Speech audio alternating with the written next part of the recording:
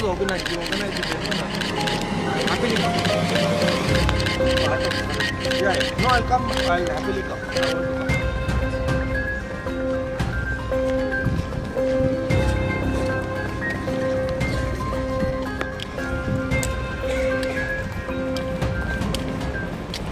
Just উনি প্রচারে যাচ্ছেন মিজোরাম নির্বাচনে তো আগরতলা হয়ে আগরতলা এই স্পেশাল ফ্লাইটে এসছেন, এখান থেকে হেলিকপ্টার নিয়ে উনি মিজোরামে যাবেন।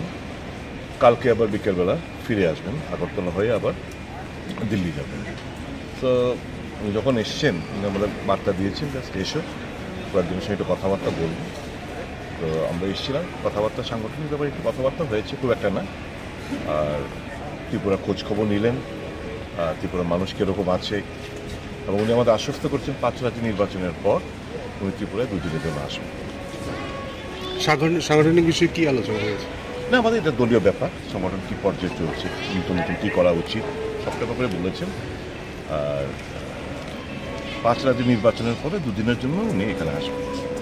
থ্যাংক ইউ স্বাস্থ্য পরীক্ষা নিরীক্ষার জন্য ভারত ডায়াগনস্টিক সেন্টার নিয়ে এসেছে এক সুবর্ণ সুযোগ।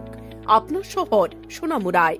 এখানে রয়েছে অত্যাধুনিক যন্ত্রের সাহায্যে রক্ত মল, মূত্র, কফ, শুক্র যাবতীয় পরীক্ষা নিরীক্ষার সুব্যবস্থা। তাছাড়া রয়েছে বিদেশে যাওয়ার যাবতীয় পরীক্ষা নিরীক্ষার ব্যবস্থা। রিপোর্ট পেয়ে যাবেন একদিনের মধ্যে।